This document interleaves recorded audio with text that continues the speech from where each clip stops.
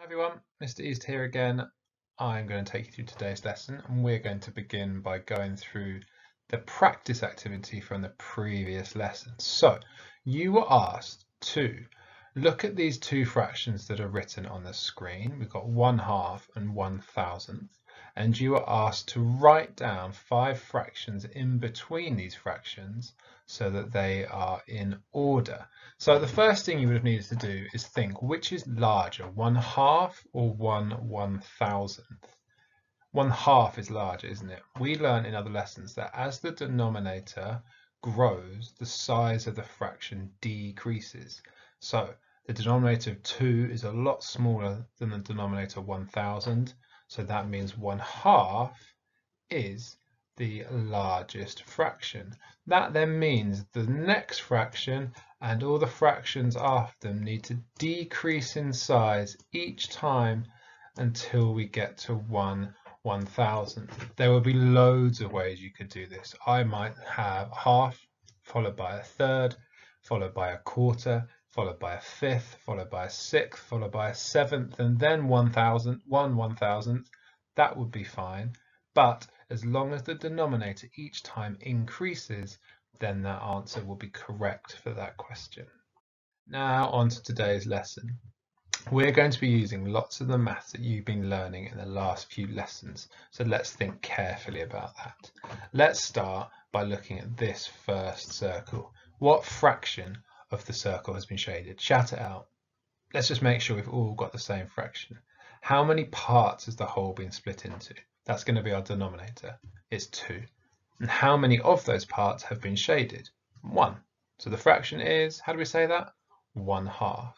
What about our second circle? How many equal parts has this circle been split into? It's been split into 4 equal parts, so our denominator is 4. And how many of those equal parts have been shaded? Yeah, one of them. So our fraction is 1 quarter. Now in the last few lessons we've been comparing fractions. Just looking at those pictures, which fraction is larger, a half or a quarter? Let's look at the amount of the shape, the fraction of the shape that has been shaded. Which one's larger, the fraction that we've said is a half or the fraction that we've said is a quarter? It's a half, isn't it? So if I ask you to put these fractions in ascending order, so going from smallest to largest, we would have to move a half over here. Now these are in ascending order. Now, if we're going to compare them, we could use this sign, that is smaller than sign. So now we can say this statement, one quarter is smaller than one half, or one quarter is less than one half. Can you say those with me? One quarter is less than a half, or one quarter is smaller than one half. And something that we looked at together before is this statement. When comparing unit fractions, remember that's fractions where the numerator is 1, the greater the denominator, the smaller the fraction. So if we look at our two denominators here, we have our denominator 4 and our denominator 2. 4 is the larger number, so that means this fraction is smaller than in this fraction where the denominator is 2. Now Emma has drawn these two diagrams. She's drawn a blue circle and split it into quarters and a red circle and she split it in half. And she thinks her diagram disproves what we've just said. She thinks this shows that a quarter is greater than a half. What do you think? Do you agree with Emma or do you disagree with Emma? Pause the video and see what you think.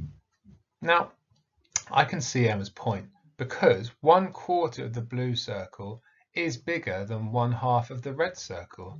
Let me put the red circle on top of the blue circle. We can definitely see that for these examples, the quarter, the blue part of the blue circle, is larger than the red part, the half of the red circle.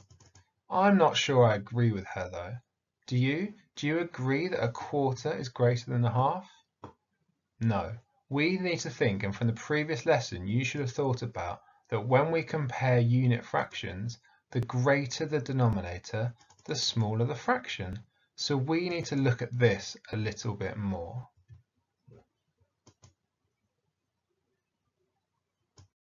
So let's compare our first diagram, which I've shown here on the left, and Emma's diagram on the right. Let's look at those two diagrams carefully and think what's the same and what is different. Pause the video and see how many similarities and differences you can find. Okay, let's start off with the first similarity I've spotted. We've got a circle that's been split into four parts on the left and we've got a circle for Emma that's been split into four parts on the right. They've both been split into four parts and for both our diagram and Emma's diagram one of those four equally sized parts has been shaded so both of those are a quarter. Let's look at the second circle. Again, something that's the same. They've both been split into two equal parts and again one of those two equal parts has been shaded so that is the same. So let's talk about the differences that you've spotted. Again, if we start with our first diagram, can you spot that both of our wholes are the same size? But for Emma's diagram, both of the wholes are not the same size. The blue circle is a lot larger than the red circle. And because of this, that's why Emma has got an incorrect statement. One quarter is not the same size as a half. And the reason for that is when we compare fractions, the whole has to be the same size. So Emma thought her diagram proved that a quarter was larger than a half, but we've just said that that's not the case. We know that's not true. And we said the problem that Emma had is that her wholes are different sizes. If we change the red circle to be the same size as the blue circle, we can clearly see that a quarter is not greater than a half because we can see here that the blue fraction is a quarter and that's definitely smaller than the red part because it will come to here and this is larger in size so the correct statement is one quarter is less than one half.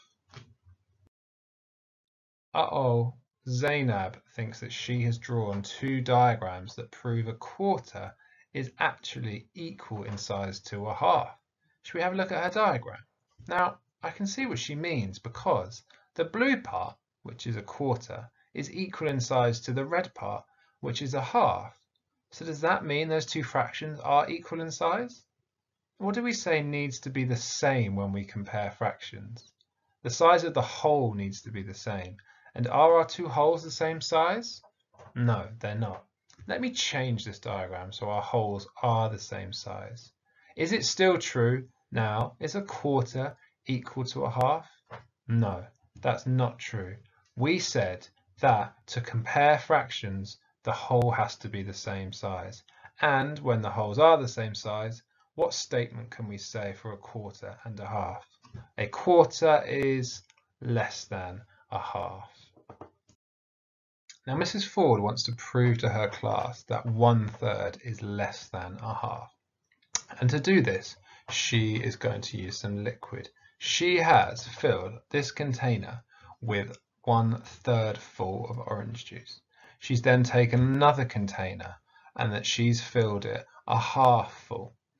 I can see that both those fractions are about right. I can see that three of those parts would fit into the whole container for a third and two of those parts would fit into the container for a half.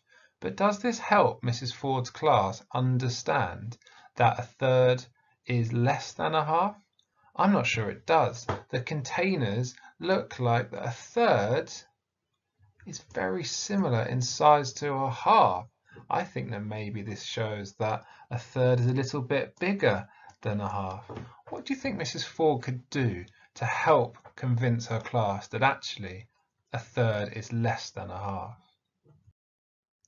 Did anyone say pour them into the same container? Because that's exactly what Mrs. Ford has done. If they're in the same container, if the wholes are the same size, then we can compare the fractions. And what's bigger? What, can, what takes up more of the container? A half or a third? It's really obvious, isn't it? It's a half. A half is a larger amount than a third. So we can say a third is less than a half. Now we're going to look at another example. Here I've got the journey from Sunny's house to school and Sunny moves this amount. What fraction of the whole journey do you think is shown? Have a guess. How are we going to work out what fraction that is of the whole journey from Sunny's house to school? We've got to use some visualization. Here, we've got to think how many of those arrows would fit in the whole. I'm going to show you. Did anyone say a quarter? The amount shown in the arrow is one quarter of the whole journey because it's one of those four equally sized parts. Now Kofi lives a little bit closer to school and I want to show you part of Kofi's journey. What fraction do you think that is of the whole of Kofi's journey to school? Let me prove to you. There's two arrows and at first I showed one of those arrows. So the fraction that I've shown there would be one half.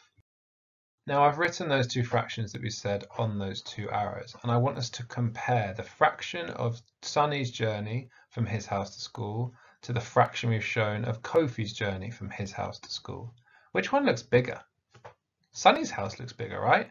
Let me put it underneath. Yeah, definitely. That arrow for the fraction of Sunny's journey is bigger than the fraction for the arrow for Kofi's journey. Why is that? We've said that when we compare unit fractions, the greater the denominator, the smaller the fraction. So why is a quarter here larger than a half? Did anyone say it? Are the wholes the same size? No, the whole, that is the whole of Sunny's journey from his house to school, is larger than the whole journey of Kofi's house to school. So we cannot compare these two fractions because the wholes are different sizes. Again, when we compare fractions, the whole has to be the same size. What do you think about what Femi's written here? Femi said his diagram proves a quarter is less than a half, and then Femi's drawn a diagram to try and prove that. If you were a teacher, what would you do? Would you tick the picture and tick the statement? I'm not sure I'd tick both. Let's look at the different parts. Femi said his diagram proves a quarter is less than a half. Is it? Yeah, we know, again, when comparing unit fractions, the greater the denominator, the smaller the fraction. 4 is greater than 2, so that means a quarter is smaller than a half. So I agree with that, but does his diagram show that? What do you think? Would you ask him to redraw part of his diagram?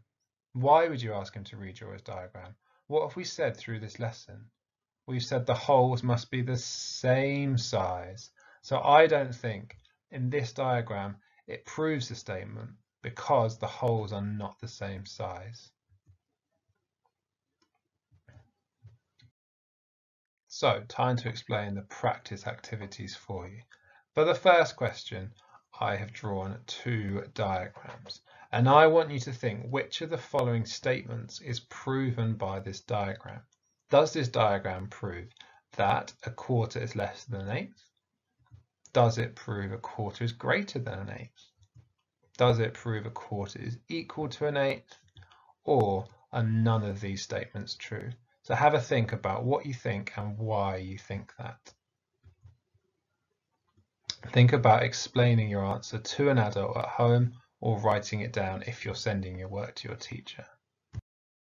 So the second thing I'd like you to do is very similar to what we just spoke about with Femi's diagram we said that we agreed with his statement that one quarter is less than one half because we know from all the work we've done that when we compare unit fractions, the greater the denominator, the smaller the fraction.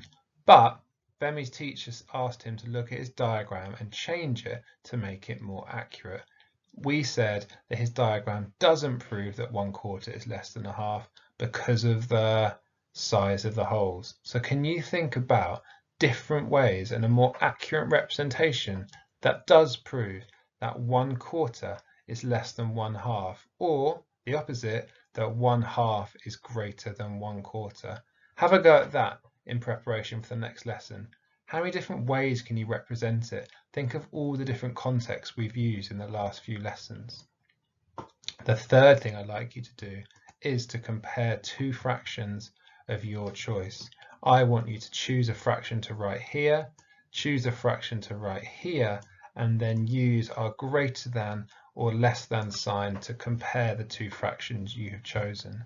Maybe you can even draw a really accurate diagram to prove the inequality that you have written. The final thing I'd like you to do is to complete this sentence. This should summarize the same thing that we have said all the way through this lesson. When we compare fractions, that has to be that can you write that sentence to summarize the whole lesson?